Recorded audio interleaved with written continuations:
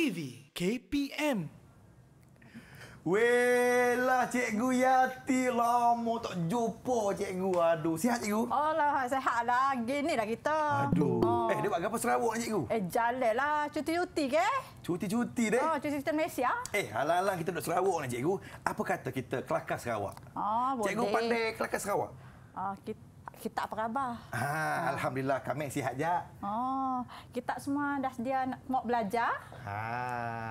Ah, kita orang rasa apa yang kita akan belajar itu.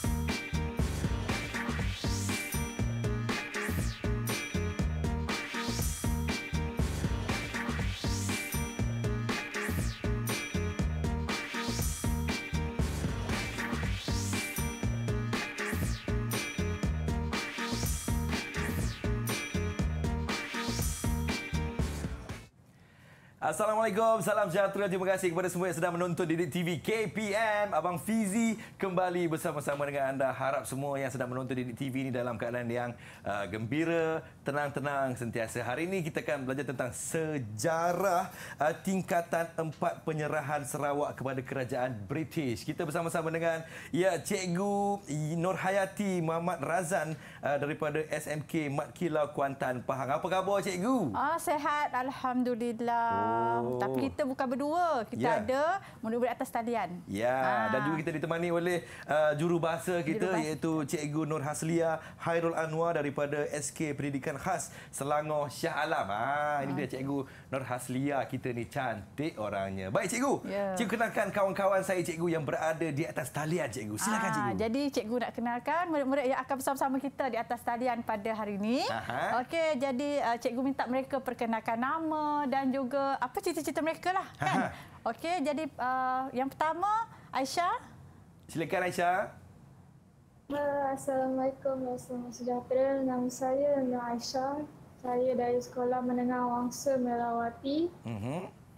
Okey, ah apa Aisyah cita-cita Aisyah nak jadi apa ya? Oh, cita-cita mungkin jadi pelukis. Oh, pelukis. pelukis. Wow, hebat Ah. sekali cerita tu. Okey, selain Okey. daripada Syah kita ada siapa Ah, lagi Cikgu? kita ada okey Susmita. Shush. Silakan Shush, kenalkan diri. Hai, salam sejahtera. Salam sejahtera. Nama saya Shushmita Deodas daripada SMK Wangsa Melawati juga. Mhm. Cita-cita saya nak jadi seorang doktor. Fuh, doktor dalam bidang apa tu? Uh, tak berapa sure tapi dalam bidang patologi kot. Patologi, Patologi. cikgu. Dia dah ada fokus dah tu ya. Ha. Tadi kita kenal dengan dua murid perempuan. Jadi Okey. kita ada dua juga murid lelaki yang bersama-sama dengan kita. Ha. Okey. Ah, jadi kalau tadi daripada SMK Wangsa Melawati, saya perkenalkan ah, murid daripada sekolah saya sendiri, Aha. ah, Zarif. Zarif perkenalkan Zarif. Oh, Zarif. Zarif pun tak nampak tu Ah, Zarif. Ah, Zarif. Zarif hilang. Okey. Ah, ada ada. pun Zarif. Zarif, sila kenalkan diri Uh, Zarif. Assalamualaikum. Assalamualaikum dan salam sejahtera. Salam. Uh, saya Muhammad Zarif bin Iji Adi dari Sekolah Menengah Kebangsaan Mat Kilau. Boleh panggil Zarif. Ha, apa awak punya cita-cita Zarif? Um, nak jadi uh, chef. Fuh. Oh, chef, eh? Jarang Ah. kita dengar ni cikgu nak jadi chef ni. Dia kena bagi saya rasa dulu. Ah, Betul. Kan? Ah, Ah, okey. baik, Dan kita ada Lagi seorang lagi. Ha. Okey, Aisyah. Sedia uh, perkenalkan diri? Okey. Hai, Assalamualaikum dan selamat sejahtera. Uh, saya Muhammad Aisyah bin Zanzuri Mhm. dari SMK Wangsa Melawati. Uh, cita-cita saya nak jadi seorang cyber security. Okey, hebat-hebat. hebat-hebat, ya. Murid-murid kita pada hari ini cikgu ya. InsyaAllah. Ha, Baik cikgu, teruskan dengan Okey. kita punya pembelajaran Ah, pada hari jadi ini. kita teruskanlah tanpa mengangkat masa. Jadi Baik. untuk hari ini sebab tadi kita pun dah terangkan bahawa kita akan fokus kepada tajuk penyerahan Sarawak. Mhm. Jadi pada hari ini objektif yang murid-murid akan uh, capai diharap dapat capai pada akhir pengajaran kita, Mhm. pembelajaran kita ialah pertama kita dapat memerihalkan penyerahan Sarawak oleh kerajaan Brok kepada kerajaan British. Mhm. Kemudian kita akan fokus kepada untuk murid-murid dapat menghuraikan penentangan yang dilakukan oleh penduduk tempatan terhadap penyerahan Sarawak ini. Mm-hmm. Dan seterusnya, dan tentulah kita akan belajar juga apakah nilai yang kita dapat peroleh daripada topik iaitu nilai menghargai kepentingan uh, apa kepimpinan tokoh terdahulu dalam membina negara. Faham, Cikgu. Ah, mm-hmm. Jadi kita terus pergi kepada apakah sebenarnya faktor yang menyebabkan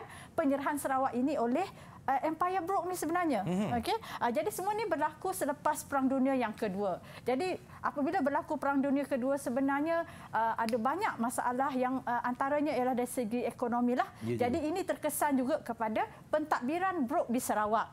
Oleh itu, okey kita lihat ya, uh, yang itu uh, masalah keuangan ini merupakan masalah uh, ataupun faktor yang ketiga lah seperti yang ada pada paparan. Okey, tetapi sebelum itu kalau kita lihat ya, masalah yang pertama sebenarnya ialah daripada Charles Wynebrook itu sendiri yang tidak mempunyai pewaris. Oh. Jadi apabila dia tidak mempunyai pewaris dan dia juga enggan menyerahkan pewarisan dia itu kepada anak saudaranya menyebabkan uh, uh, ini adalah antara faktor yang menyebabkan uh, Charles Vandenbroek ini ingin menyerahkan Sarawak kepada kerajaan British. Mm-hmm. Selain uh, selain itu kita lihat ya kerajaan British pada ketika itu mendesak untuk mendapatkan Sarawak. Mm-hmm. Okey, ini adalah bagi tujuan untuk menguasai kekayaan dan juga untuk memastikan kepentingan pelaburan kerajaan British di Sarawak itu uh, terjamin.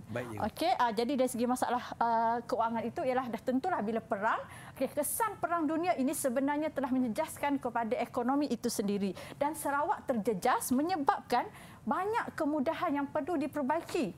Jadi inilah sebenarnya yang menyebabkan uh, pentadbiran Brooke itu mengambil keputusan untuk menyerahkan Sarawak kepada kerajaan British. Mm-hmm. Okey, jadi kita lihat apakah sebenarnya kronologi ya penyerahan Sarawak ini. Bermula daripada okey, dia sebenarnya bermula pada 11 September 1945. Okey, apabila kita belajar apa yang berlaku di negara kita ketika itu ialah apabila uh, tamatnya pendudukan Jepun kemudiannya British sebelum mengambil alih adanya pentadbiran tentera. Mm-hmm. Jadi begitu juga yang berlaku di Sarawak iaitu British Borneo Civil Affairs Units uh, dilaksanakan dalam pentadbiran di Sarawak. Kemudian pentadbiran British atau British uh, Military Administration dilaksanakan di negeri Sarawak dan juga di Sabah pada September 1945 mm-hmm. dan seterusnya. Okey kita lihat ya Penyerahan Sarawak ini dilakukan pada 1 Julai 1946.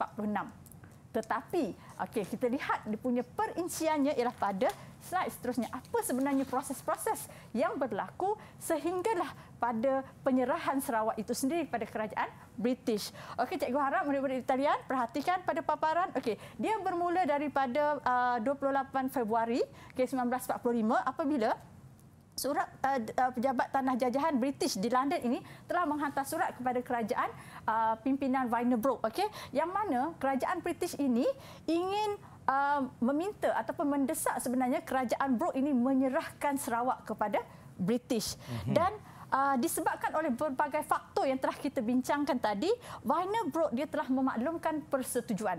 Jadi apabila persetujuan telah diperoleh, uh-huh. maka proses seterusnya ialah untuk mendapatkan uh, kita kata persetujuan daripada ketua-ketua tempatan. Mm-hmm. Jadi di sinilah peranan yang dimainkan oleh setiausaha Charles Vannerbroek yang bernama Gerard T. McBrien. Okey, apa yang dilakukan? Pertama, dia mendapatkan persetujuan. Jadi di sini akan kita lihatlah persetujuan. Cara yang dilakukan untuk mendapatkan persetujuan itu sebenarnya nanti akan membawa kepada pelbagai reaksi. Mm-hmm. Okey, uh, jadi yang pentingnya dalam proses ini kita tahu bahawa uh, uh, dokumen telah pun mendapat dah berjaya mendapat dah apa Gerard ni telah berjaya mendapat uh, tanda tangan ketua tempatan tetapi untuk makluman juga ataupun untuk pengetahuan murid-murid di atas uh-huh. talian dan juga murid-murid di luar okey kita kena ingat ya bahawa persetujuan ini tidak uh, diketahui oleh penduduk Sarawak itu sendiri uh-huh. jadi Uh, seterusnya apa yang berlaku ialah proses untuk mendapatkan kelulusan majlis negeri dan uh, penduduk Sarawak. Uh, jadi inilah yang berlaku menyebabkan British telah menghantar dua ahli parlimennya ke Sarawak untuk mendapatkan persetujuan rakyat. Okay, kita pergi pada prosesnya lah. Jadi inilah hasil tinjauan yang dilakukan. Maka boleh kita katakan secara kesimpulan. Jadi murid-murid boleh nampak eh, apa di uh, hasil keputusan atau tinjauan yang dilakukan oleh government ini iaitu sebahagian penduduk peribumi Sarawak dah tentulah menentang. Walaupun ada yang menentang, masih ada yang menyokong. Baik. Jadi orang Cina Sarawak ini menyokong penyerahan dan ada penduduk ini sebenarnya tak tahu pun apa apa-apa uh, maklumat berkaitan penyerahan Sarawak. Mm-hmm. Jadi ini telah membawa kepada tindakan Majlis Negeri mengeluarkan rang undang-undang dan untuk mem- uh, membuat undian di dalam Majlis Negeri. Dan hasilnya kita dapati bahawa pro penyerahan telah menang. Mm-hmm. Jadi itulah yang sebenarnya membawa kepada uh, pengistirahan uh, penyerahan Sarawak kepada kerajaan British pada 1 Julai 1946 itu sendiri. Faham cikgu? Ha, hmm. jadi itu adalah proses uh, yang mana inilah yang pada kita kata objektif yang pertama tadi untuk memeriahkan penyerahan Sarawak kepada uh, kerajaan British. Okey, jadi kita teruslah sebenarnya hmm. kepada soal jawab dengan murid-murid di atas talian. Okey, jadi cikgu minta murid-murid okey bersedia dengan tiga soalan. Baik tuliskan jawapan masing-masing uh-huh. dan kita bacakan soalan yang pertama dahulu. Okey, soalannya ialah apakah peranan Gamams dalam proses penyerahan Sarawak ini? Ah, apakah? Ah, apakah peranan? Okay, siapa Gamams? Ya, yeah, Gamams. Ha. Jadi okey ah kawan-kawan tengah menulis sekarang ni. Okey. Okay, siapa cepat dia akan dapat ha, markah kena, kena cikgu cepat ya. ya. Kita ha. akan berikan markah kepada Baik. mereka. Okey, okay, terus ada ke yang nak jawab? Uh, terus keluarkan uh, tuliskan pada uh, tunjukkan paparan jawapan masing-masing. Baik. Okey. Tengah gigih cikgu nampaknya. Gigih ya. Ha. Tapi dalam peperiksaan kita tak boleh nak lama sangat nanti uh, tak sempat nak menjawab soalan-soalan lain. Betul. Ha, cepat, okay. cepat, cepat. Cepat-cepat angkat dulu, okey. Ha. Okey, apa jawapannya? Baik. Aisyah, apakah jawapannya Aisyah? uh, peranan Gaman ialah mendapatkan persetujuan daripada ketua tempatan dan membuat tinjauan terhadap reaksi penyerahan Sarawak. Okey, ha. kita terus. Ya, jadi betul lah ya. Ha, dia membuat tinjauan Aha. sebab laporan yang yang diserahkan itu ialah di, laporan berkaitan dengan tinjauan uh, terhadap penyerahan Sarawak itu kemudiannya dibawa ke majlis negeri. Okey, kita pergi kepada soalan yang kedua. Okey, okay, yang lain-lain bersedia. Uh-huh. Okey, apa keputusan ha, daripada tinjauan yang dilakukan oleh Gamam tadi? Apa keputusan uh, yang dicapai undian oleh Majlis Negeri berhubung keputusan tinjauan Gamans dan Rhys William. Ah, oh, okay. Tapi saya dah tertekan dah ni. Okey kita kita abaikan soalan ini sebab Baik. saya dah tertekan jawapan. Jawapannya pro penyerahan ah, menang 19 berbalas ah. 16. Ha itu ah, dia. Sebenarnya Baik. kan. Soalan ketiga, soalan ketiga soalan ketiga. Soalan ketiga. Okey, kita pastikan soalan ketiga. Okey. Baik cikgu, tadi cikgu uh, Aisyah punya markah berapa cikgu? Ah, Aisyah punya nanti kita bagi markah ya. Okey, baik, okay. baik. Ah, soalan ketiga, bila dan di manakah pengistirahan Sarawak dilaksanakan? Ah, ini senang je ni. Ah. Ah, seorang lagi, seorang lagi cepat. Siapa cepat dia akan dapat. Okey. Baik, nampaknya. Okey, Zarif. Zarif, ya, Zarif. silakan Zarif. Ah, Zarif, tunjukkan ah. paparan. Nampak tak jawapan? Bacakan Zarif. Okay. Ha, cuba bacakan apakah jawapan anda, wahai Zarif. Penyerahan Sarawak kepada kerajaan British pada 1 Julai 1946. Ha, ha ya betul 1946 betul cikgu betul sangat eh uh, tepat sekali Yay. jadi sekarang ni Aha. pelajar uh, apa murid-murid lelaki kita telah mendapat okey saya berikan tiga bintang kepada Aisyah dan juga tiga bintang kepada Zarif Yeah. Okey. Okay. Tepuklah sikit kawan-kawan. Ah, tepuk masing-masing dia kata tak puas hati. Tak apa kita ada lagi segmen seterusnya. Baik. Jadi tunggu dulu. Okey kita akan banyak lagi perbincangan untuk slot uh, seterusnya. Okay? Baik kita Dan rehat dulu cikgu. Kita rehat kita dulu. Kita minum air dulu. Kita kembali selepas ini. Jangan ke mana-mana. Terus menonton Didik TV KPM.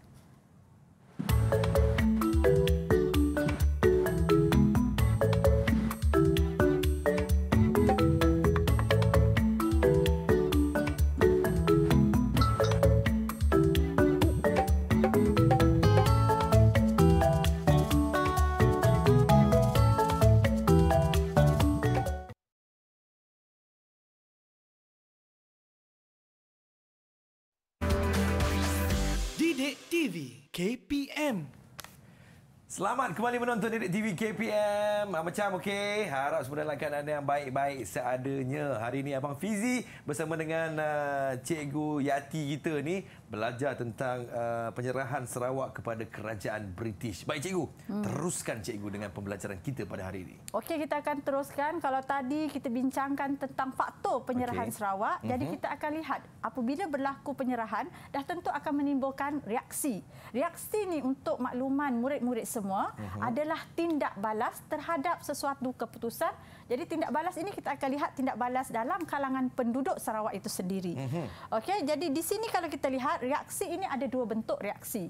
Pertama adalah golongan yang menentang penyerahan Sarawak itu, okey dan juga golongan yang menyokong penyerahan Sarawak. Okey, jadi bagi golongan yang menentang penyerahan Sarawak ini diketuai ya golongan ini diketuai oleh Dato Patinggi Abang Haji Abdillah. Okey mhm. cikgu ulang sekali lagi Dato Patinggi Abang Haji Abdillah. Kemudian bagi golongan yang menyokong penyerahan Sarawak ini maka penyer- golongan ini telah diketuai oleh Datuk Bandar Abang Haji Mustafa dan Datuk Amar Abang Haji Sulaiman. Mm-hmm. Ha, jadi kena ingat ya nama-nama yang cikgu sebutkan ini. Okey kita akan teruskan. Sebenarnya apakah faktor kita lihat dulu apakah faktor yang menyebabkan golongan yang menyokong penyerahan Sarawak ini? Ha, jadi reaksi uh, penduduk tempatan yang menyokong ini dah tentulah ada sebab-sebab mereka tersendiri. Jadi faktor yang pertama ialah mengikut pandangan mereka. Ini kita lihat dari konteks mereka yang bersetuju ialah hmm. mereka anggap penyerahan Sarawak kepada kerajaan British ini dapat memajukan negeri Sarawak. Apatah lagi keadaan Sarawak yang telah pun berlaku banyak uh, masalah selepas berlakunya perang. Hmm. jadi dah tentulah untuk membangunkan ekonomi penyerahan Sarawak kepada kerajaan British ini merupakan satu langkah yang mereka anggap dapat memajukan negeri kemudian Selain memajukan negeri, pandangan mereka penyerahan ini juga dapat memajukan penduduk tempatan itu sendiri. Jadi di sinilah kita lihat melalui penubuhan yang Malay Association, okey, uh, mereka ini telah menganggap uh, ataupun berpandangan bahawa dengan penyerahan Sarawak ini bukan sekadar memajukan negeri tetapi memajukan ekonomi dan sosial mm-hmm. penduduk Sarawak. Dan faktor yang ketiga ataupun sebab ketiga mereka menyokong golongan-golongan yang menyokong ini ialah kerana adanya peluang-peluang pekerjaan yang diperoleh oleh penduduk tempatan dalam pentadbiran yang uh, pentadbiran di Sarawak. Uh, jadi antaranya ialah golongan intelektual uh, Sarawak ini telah diberikan peluang untuk mengisi jawatan-jawatan dalam perkhidmatan awam. Mhm. Jawatan-jawatan ini bukan jawatan yang biasa tetapi jawatan tinggi. Yeah. Antaranya ialah jawatan sebagai peguam, uh-huh. doktor dan jurutera. Jadi dah tentulah dengan ada peluang yang diberikan oleh British itu memberikan gambaran bahawa British akan memberikan satu masa nanti akan memberikan uh, kemerdekaan kepada mereka. Itu pada pandangan mereka yang menyokong penyerahan Sarawak ini kepada kerajaan British. Baik cikgu. Ah, jadi Ha, sebelum ha, tadi kita sikit saja yang menyokong ni jadi kita ada soal jawab dengan uh, murid-murid kita dalam talian. Ha, ha, jadi apa Fizi nak uji mereka ni cikgu? Kita ujilah. Baik cikgu. Ha. ha. Macam mana cikgu tengok uji dia orang ni? Okey, Abang Fizi ada soalan pada Abang Fizi. Baik. Kita minta murid-murid ini uh, pilih soalan daripada 1 hingga 4 kita bermula. Abang Fizi lah pilih siapa okay. dulu. Kita mulakan dengan shoes dulu. Ha, ha jadi okay. penyataan ini okay. apabila Abang Fizi pilih bacakan penyataan terus jawab betul atau salah ya murid-murid. Di tangan Abang Fizi sekarang ni ada empat sampul ya. Sila pilih shoes. Satu, dua, tiga dan empat. Shoes satu. satu. Shoes pilih yang nombor satu, cikgu. Okey? Baik, soalannya berbunyi begini. Dengarkan baik-baik, Shoes. Datuk Patinggi Abang Haji Abdillah mengetuai kumpulan penyokong penyerahan Sarawak. Ha, hmm. betul atau salah? Salah. Okey, ha. ha salah. Kalau ha. betulnya Syus ingat tak apa jawapan dia? Ha. Uh, kalau yang betul Datu uh, Datu Patinggi Abang Haji Abdullah uh, beliau menentang penyerahan Sarawak. Ya, betul eh. Ha. Jadi jawapan yang diberikan oleh Syus ni betul. Jadi ha ya yang yang menyokong sebenarnya uh-huh. ialah Datuk Bandar Abang Haji Mustafa dan juga Datuk Amar Abang Haji Sulaiman. Okey, pergi pada yang kedua. Kita berikan tiga bintang kepada Syus. Tiga bintang kepada Syus. Okey. Kita yang pergi seterusnya. pada seterusnya. Kita nak Syah. Syah, silakan Syah. Pilih Syah ada tiga lagi sampul yang dekat tengah Abang ni Syah. Cepat Syah. Syah pilih yang mana? Uh, nombor tiga. Nombor tiga. Okey, baik. Soalannya berbunyi begini. Yang Malay Association ataupun YMA merupakan golongan anti penyerahan telah menubuhkan cawangannya di Sibu, Kalaka dan Miri. Betul atau salah Syah? Uh, Salah kot. Ah, ah, ah, ada kod-kod ya. Ha. Betul ke salah? Salah. Ah, kunci Salah. jawapan. Kunci? Ya, okey. Cikgu Baik. komen. Ah, Abang Fizi boleh berikan markah tiga bintang kepada Aisyah. Okay? Cikgu. Jawapannya, okay, yang Malay Associate ni adalah golongan uh, pro penyerahan. Mhm. Okay? Dia menyokong kepada penyerahan Sarawak itu. Okey, kita terus pada soalan yang seterusnya. Eh, pada Okey. murid yang seterusnya. Ah, Aisyah dengan Nazarif. Siapa nak jawab angkat tangan? Okey, baik. Aisyah, sila pilih ada dua ni. Nombor dua ke nombor empat ni? Uh, nombor dua. Nombor dua. Baik, kita akan bacakan soalan dalam sampul nombor dua. Soalannya berbunyi begini. Datuk Bandar Abang Haji Mustafa berpendapat bahawa penyerahan Sarawak kepada British mampu memajukan negeri ini. Betul atau salah? Silakan jawapan anda. Jawapan dia betul. Betul, ya, cikgu. Betul. Kita bagi tiga markah. Tiga dan markah. kita ada soalan yang terakhir. Kita terus kepada Zarif lah. Okey, Zarif. Silakan Zarif. Ha. Zarif. Ha, ha. Jadi Abang dengarkan Fizi baik-baik, bacakan Zarif. terus soalannya sebab dah tak ada pilihan dah. Baik. kan? Soalan ini memang agak susah sikit Zarif ya dengarkan baik-baik ya. Pengisian jawatan penting ramai intelektual Sarawak dalam perkhidmatan kerajaan meyakinkan rakyat bahawa British akan memberikan taraf berkerajaan sendiri kepada Sarawak. Betul atau salah? Silakan Zarif. Um, betul.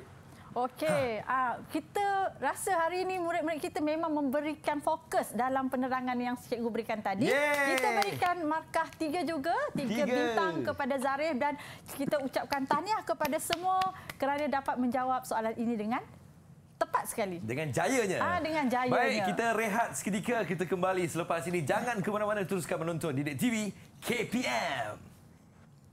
Didik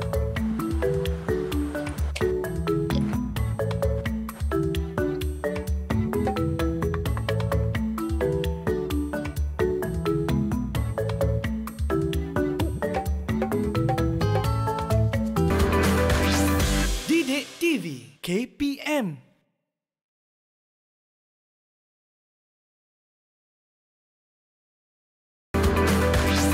Didik TV KPM Selamat menonton Didik TV kawan-kawan. Terima kasih Abang Fizi masih lagi bersama-sama dengan anda ditemani oleh Cikgu Yati kita. Ha, kita belajar tentang sejarah pada hari ini ya. Sejarah tingkatan empat penyerahan Sarawak kepada kerajaan British. Cikgu, Ya. teruskan cikgu.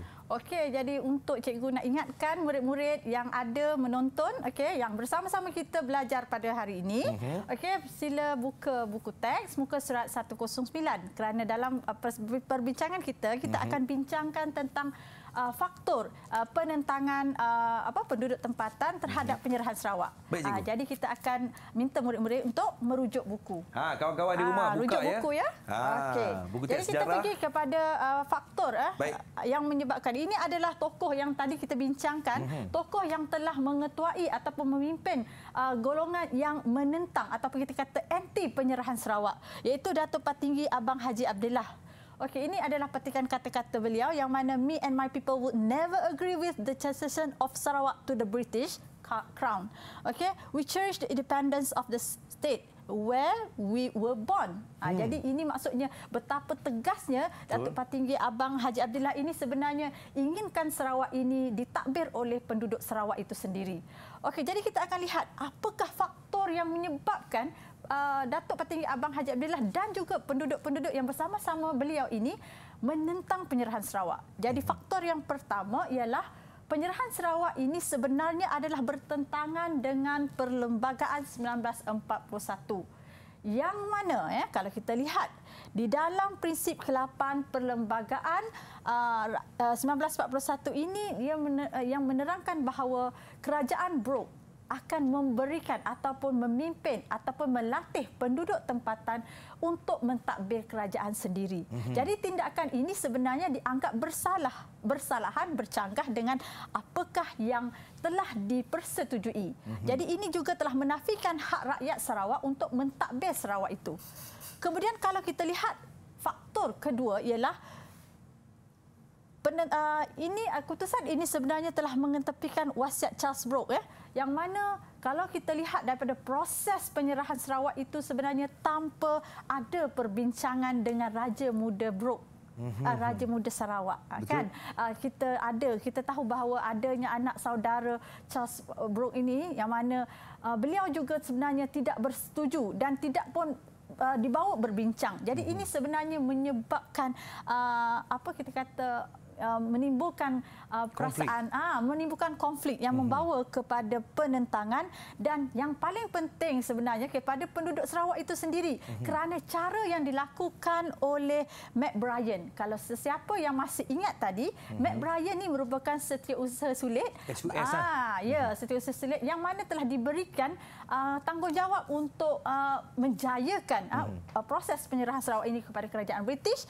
dan cara yang dilakukan oleh raya ini adalah secara tipu muslihat untuk mendapatkan persetujuan ketua tempatan yang mana menggunakan cara tekanan, mendesak, kemudian menyujukkan uh, dan juga sogokan. Mm-hmm. Dan selain itu kita tahu bahawa di dalam proses itu yang dilakukan oleh Gerard T. McBrien ini sebenarnya tidak diketahui oleh penduduk tempatan Sarawak itu sendiri. Oh, Sehinggalah kerajaan British menghantar uh, tadi kita lihat ya dua uh, ahli parlimen itu Gammams ya, dan mm-hmm. Williams Rhys William.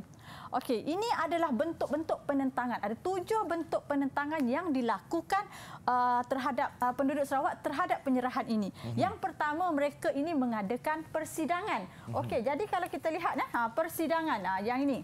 Okey, persidangan ini telah dilakukan oleh Pergerakan Pemuda Melayu. Okey, Pergerakan Pemuda Melayu yang dan juga oleh Barisan Pemuda Sarawak Uh, begitu juga antaranya ialah Persatuan Kebangsaan Melayu Sarawak PKMS. Mereka telah mengadakan persidangan dan dalam persidangan ini sebenarnya mereka uh, objektif mereka ialah mereka akan mengadakan demonstrasi pada setiap 1 Julai untuk menegaskan tentang uh, penentangan mereka terhadap penyerahan Sarawak. Mm-hmm. Kemudian kalau kita lihat faktor yang kedua Okey, faktor yang kedua ialah demonstrasi. Mm-hmm. Jadi demonstrasi ini dilakukan pada 30 Oktober 1946. Itu yeah. adalah demonstrasi yang pertama yang dilakukan oleh penduduk Sarawak yang mhm. mana uh, ketika itu kita lihat ya uh, mereka uh, mengadakan demonstrasi semasa kedatangan Gubernur Sarawak yang pertama iaitu mm-hmm. Sir Charles Arden Clark. Mm-hmm. Okey. Yang ketiga, ah, yang ini dilakukan oleh penjawat-penjawat awam ataupun mm-hmm. kita kata kaki tangan kerajaan. Baik, yang mana, okey, ah, kita lihat di sini mm-hmm. ada seramai 409 orang kaki tangan awam telah meletakkan jawatan uh, uh, sebagai tanda protes bahawa mm-hmm. mereka ini tidak setuju dengan penyerahan Sarawak. Selain daripada golongan pekerja ataupun kaki tangan awam ini, kita lihat juga tindakan yang dilakukan oleh pelajar uh-huh. iaitu seramai 56 orang pelajar maktab uh-huh. perguruan Melayu Sarawak juga telah ber, um, mengambil tindakan untuk berhenti atau menamatkan pengajian mereka. Uh-huh. Okey. Yang keempat, uh-huh.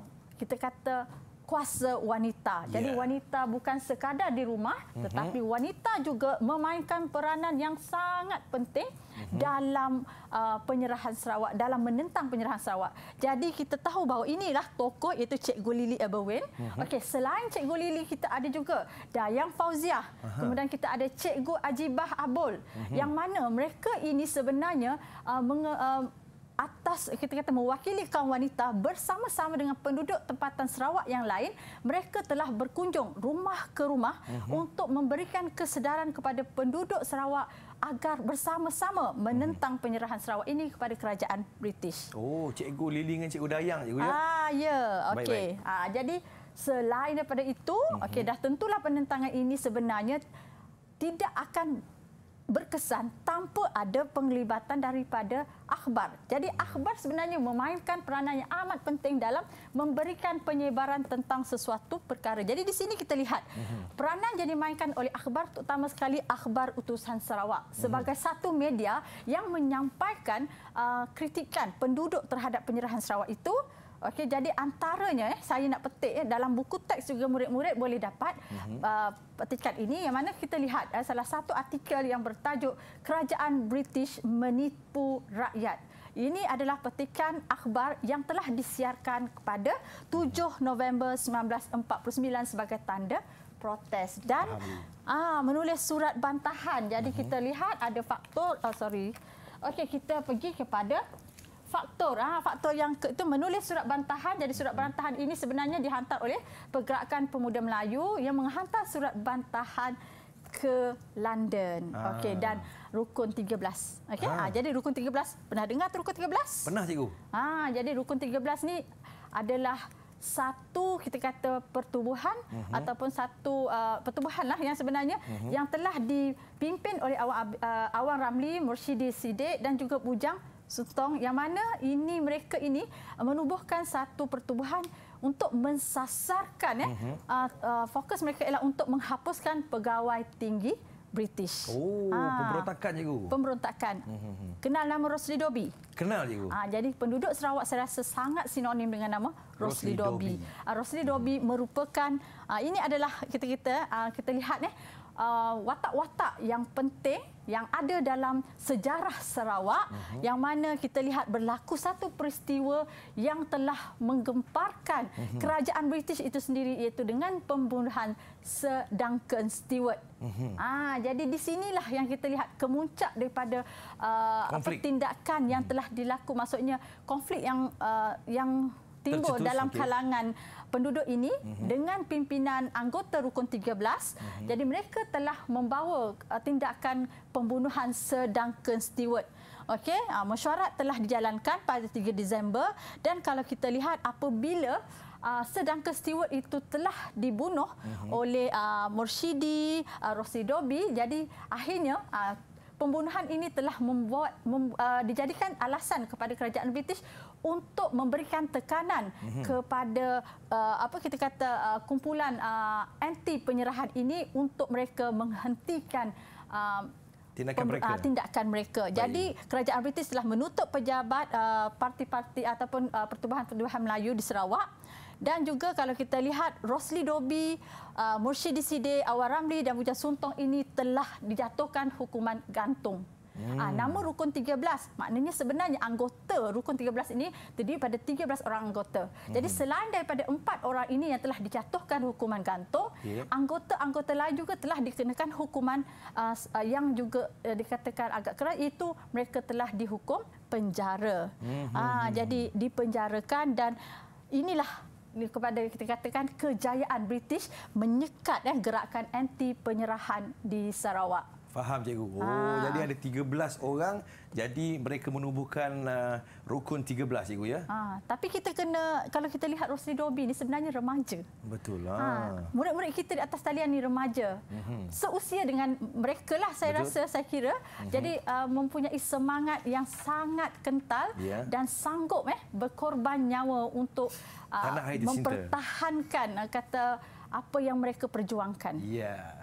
Baik, cikgu. Teruskan, cikgu. Ha, kita pergi pada ha, aktiviti soal jawab. Yeah. Ha, jadi kita ada soalan. Okey, jadi pada murid-murid atas talian, dalam uh-huh. talian, okey, di bahagian atas kita ada bentuk-bentuk penentangan, uh-huh. kita ada persidangan. Uh-huh. Uh, bentuk penentang kedua ialah dengan meletak jawatan beramai-ramai, bantahan golongan wanita, Kemudian uh, adanya akhbar utusan Sarawak dan penubuhan kumpulan rukun 13.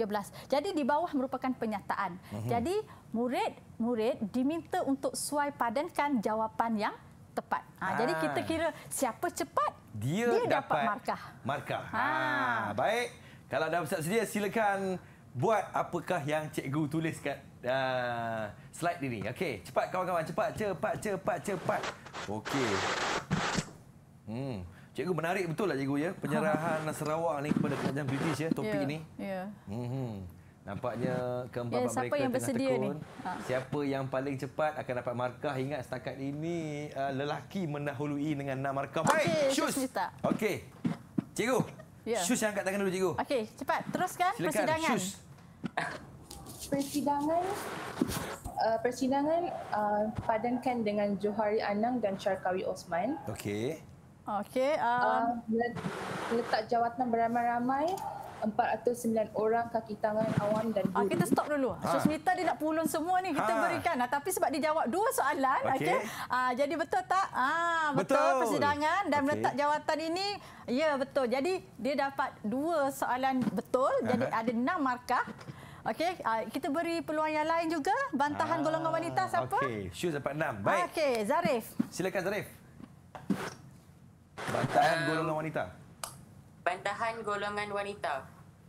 Uh, saya padankan dengan kunjungan rumah ke rumah untuk kempen. Ha, Okey. cikgu. Abang Fizi macam mana? Saya rasa betul cikgu. Ah, Ya, betul sekali. Ya. Okey, tiga markah pada Zarif. Okey, akhbar utusan Sarawak. Okey, saya padankan dengan jawapan yang tepat. Okey, Aisyah. Silakan Syah. Uh, aku utusan Sarawak untuk kerajaan British menipu rakyat. Ha, Ah, kerajaan British ini sebenarnya dia apa yang dia punya uh, tajuk artikel ya. Okey, jadi sekarang ni ah, Syah tiga markah. Yeah. Ya, tiga markah. Jadi Baik, satu lagi lah penubuhan uh, kumpulan rukun 13. Ha, Jadi siapa ni? siapa nak tu? Tapi kita kena bagi ekstra sebab kena uh, jawab ekstra lah kan. Ha, ha, ha, ha. Okey. Siapa yang tak dapat markah lagi? Saya rasa Ah, Aisyah. Okey, okey. Aisyah. Silakan Aisyah. Aisar. Uh, jawapan dia sasaran untuk membunuh pegawai tinggi British. Eh, eh susahnya, ah, susahnya. jawapan. Okey, tapi sebab dia nak dapatkan tiga markah. Okey, siapakah antara tokoh-tokoh dalam rukun 13 ni? Sebut satu nama. Ha. Uh, Rosli Dobi. Betul. Ya, betul. Okey. Baik. Tiga tambah satu.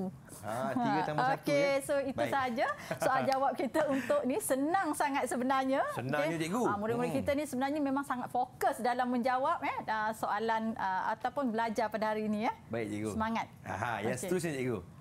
Okey, ah dah betul lah tu jawapannya. Ah Mhm. jadi kita ada satu soalan respon terhad. Okey. Okey, di sini saya berkongsi sahaja. Okey, bagi soalan respon terhad ini biasanya soalan untuk kertas dua. Mhm. Okey, soalan saya terus pergi mengapa? Mengapa maksudnya kerana. Mhm. Maksudnya dia mem, uh, ingin uh, calon ataupun kita kata murid-murid mesti Mhm. memberikan sebab penduduk tempatan menyerang uh, menentang penyerahan Sarawak.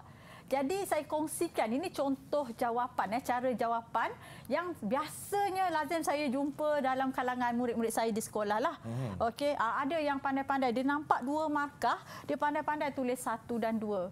Okey, Oh. jadi ah, sebenarnya Abang Fizi hmm. dan juga mungkin murid-murid dalam talian dan murid-murid di rumah juga Cikgu. cara ini salah. Oh, salah cikgu ya? Salah. Kita tak boleh nak pandai-pandai nak tuliskan satu roman, dua roman kerana memang dia minta supaya kita berikan ayat yang lengkap. Oh. Jadi untuk kita mengatasi kekurangan ataupun ke uh, peluang untuk kita hilang markah uh-huh. uh, ini adalah cara jawapan yang disarankan untuk Baik. soalan yang sama pertama kita ambil daripada petikan iaitu penduduk tempatan uh, menentang okey menentang dengan apa kerana bertentangan ini fakta okey kemudian ni huraian kemudian kita pergi selain itu ini adalah penanda wacana uh-huh. bagi fakta yang kedua dan seterusnya kita lihat Uh, murid juga memberikan huraian walaupun dua markah uh-huh. tapi contoh jawapan yang diberikan di sini uh-huh. dia telah lebih daripada markah yang diminta. Uh-huh. Jadi tak, uh, tak salah ya sebenarnya lebih baik kita memberi jawapan yang lebih berbanding daripada kita menjawab dengan dalam bentuk yang tidak dibenarkan. Okey uh-huh. kita disoal dalam bentuk ayat uh, esei uh-huh. maka kita mesti memberi jawapan dalam bentuk karangan yang lengkap. Ya, baik. Terima Ya. kasih kepada Cikgu Yanti kita. Ingat tu ya, ha, kita kena faham kehendak soalan itu sendiri. Baik, kita rehat seketika. Kita kembali selepas ini. Didik TV, KPM. Didik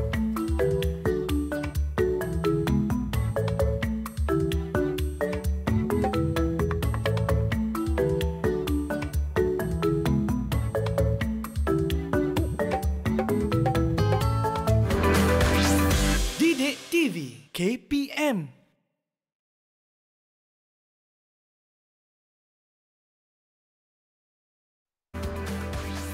Didik TV KPM Selamat kembali menonton Didik TV KPM. Masih lagi bersama dengan Fizi hari ini.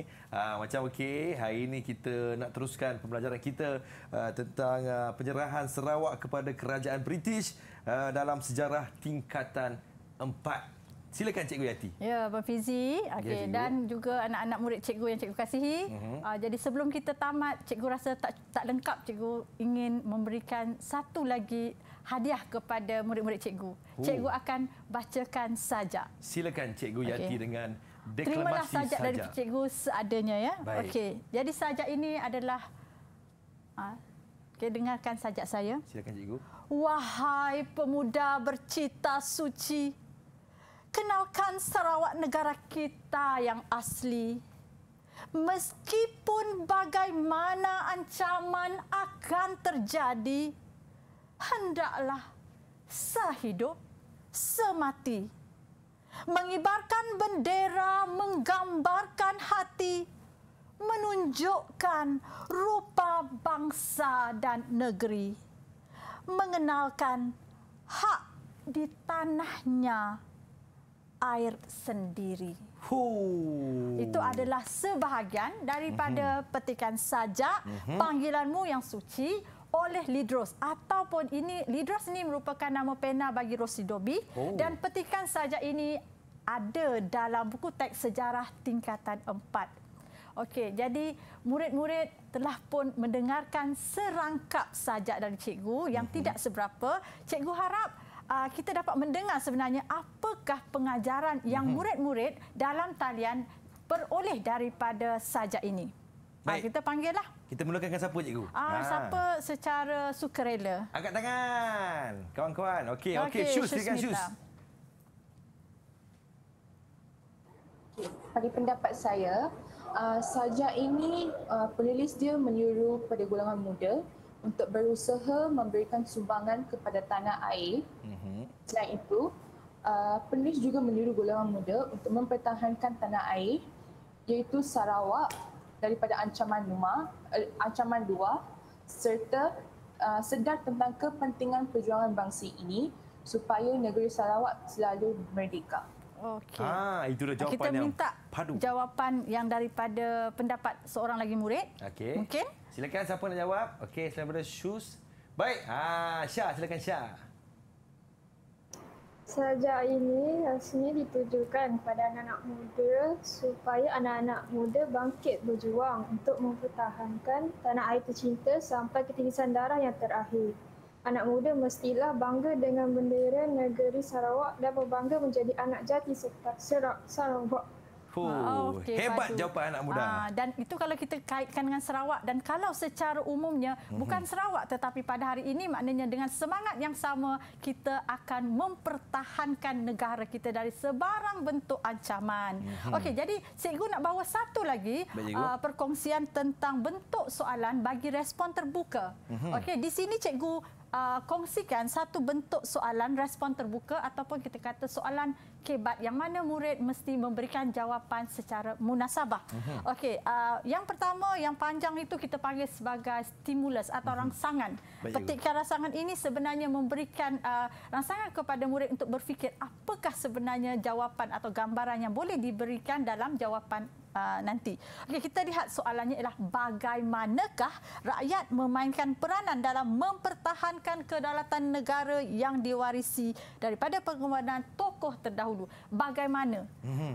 Macam soalan ini macam susah, tapi sebenarnya apa yang kita kena buat? Sebenarnya nak mempertahankan kedaulatan itu adalah cara yang mudah. Ha, yang bahasa yang mudah. Apa yang kita kena buat? Peranan kita. Ha. Apa tugas kita? Jadi di sini bagi enam markah, oh yang ini saya letakkan enam markah tetapi Baik, sebenarnya dalam peperiksaan besar ataupun kalau kita kata di sekolah maupun di peringkat uh, sijil pelajaran Malaysia sekalipun sebenarnya markah ini kita kena uh, kita kena perhatikan berapakah peruntukan markah yang disediakan. Okey, jadi bagi soalan ini saya sediakan untuk enam markah. Maka ini adalah contoh cara untuk menjawab uh, soalan ini ya. Ya, pertama bagaimana? Okey, kalau kita lihat di sini, pertama ialah dari segi kita mesti mengambil sebahagian daripada soalan sebagai ayat permulaan. Okey, kalau rakyat memainkan peranan dengan cara sebab bagaimana caralah. Okey, ini adalah isi yang pertama ataupun fakta, mengukuhkan semangat patriotisme dalam diri. Hal ini demikian kerana ini adalah ayat ataupun huraian uh-huh. yang kita mulakan dengan penanda wacana. Uh-huh. Hal ini demikian kerana. Uh-huh. Okey, sekiranya murid-murid dapat ingat ayat ini sebenarnya ialah konsep atau maksud patriotisme yang uh-huh. saya masukkan sebagai jawapan huraian. Hal ini demikian kerana semangat patriotisme merujuk kepada perasaan cinta yang mendalam terhadap negara uh-huh. serta kesanggupan dalam mempertahankannya dari sebarang ancaman. Okey. Ayat huraian lanjutan. Oleh itu, uh-huh. ha, jadi ini juga penanda wacana rakyat akan bersama-sama menghargai pengorbanan tokoh yang terdahulu. Uh-huh.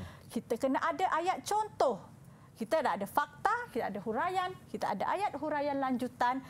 Contoh itu contohnya kita meraihkan sambutan Hari Kebangsaan dengan rasa bangga. Ya, cikgu. Okey, jadi tidak lengkap uh-huh. rasanya kalau biasa saya suka menggalakkan murid-murid untuk membuat kesimpulan atau kita uh-huh. biasa panggil inference. Yeah. Jadi kita ada satu ayat inference. Di sini mudah saja kita mulakan ataupun kita gunakan penanda wacana kesannya rasa cinta akan negara semakin kuat. kuat. Ini sebenarnya baru fakta pertama. Uh-huh. Tetapi kalau kita lihat dari segi markah pertama satu markah Okey, ada dah tiga markah. Markah keempat, markah kelima dan markah enam markah. Keenam. Itu kalau kita kira itu. Tapi dari segi holistiknya, maksudnya sudah ada. Uh, lengkap. Kita ada fakta, huraian, contoh huraian, uh, dan juga inference, inference atau kesimpulan. Okey. Mm-hmm di sini juga saya kongsikan ialah bagi soalan-soalan yang bagaimana juga tadi hmm. selain daripada kita gunakan rasa cinta ataupun patriotisme tadi sebenarnya cikgu gunakan akronim kempen. Hmm. Okey, yang mana kempen? Pertama, KE itu ialah kempen kesedaran. Hmm. Jadi murid-murid mungkin boleh menguraikan cara untuk meningkatkan uh, uh, memelihara kedaulatan ialah dengan mengadakan kempen kesedaran uh-huh. sebagaimana kita ambil contoh kemudian peranan yang dimainkan oleh media massa uh-huh. kemudian pendidikan uh, jadi menghuraikan mengikut fakta yang murid-murid rasa sesuai ataupun mudah untuk dihurai dengan uh, lengkap okey Ha, jadi mm-hmm. sebelum kita tamatkan, ha, kita cikgu minta kepada murid-murid di atas talian okay. untuk berkongsikan rumusan Aha. apa yang mereka pelajari pada hari ini. Kita minta wakil lah. Ha, Daripada wakil? empat orang ni, wakil seorang. Okey, okay, silakan. Uh, ini ialah rumusan uh, pengajaran uh, pengajaran uh, masyarakat dan negara. Uh, saya ringkaskan.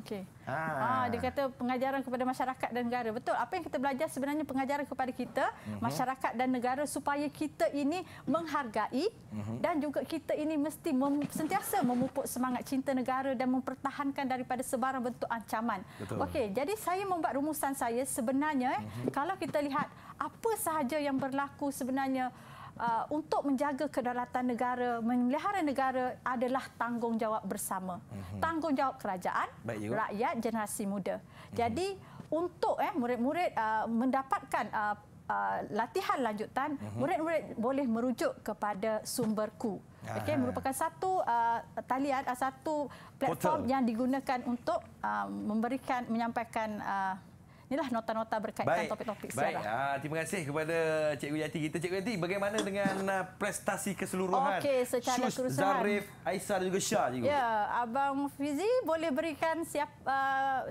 apa?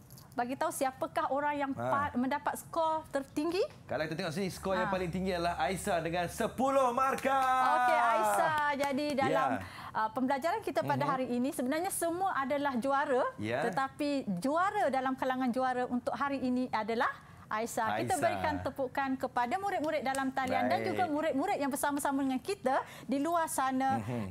Uh, cikgu ucapkan agar eh, perkongsian kita sebenarnya dapat memberikan manfaat dalam pelajaran kita dan juga kehidupan seharian. Baik, terima kasih kepada Cikgu Nur Hayati binti uh, Muhammad Razan, uh, guru sejarah daripada Sekolah Menengah Kebangsaan Mak Kilau, Kuantan Pahang. Dan terima kasih kepada uh, Cikgu Jurubahasa kita itu Puan Nur Haslia Hairul Anwar, SK Pendidikan Khas Selangor Shah Alam Selangor. Terima kasih kepada Syus, Zarif, Aisyah dan juga Syah. Terima kasih kepada semua penonton-penonton yang sudi menonton Didik TV KPM. Ingat, apa yang Cikgu ajar, simpan dalam hati dan bukan simpan dalam peti. Jaga diri baik-baik. Jumpa lagi. Assalamualaikum. Bye-bye. Terus menonton di GBKPN.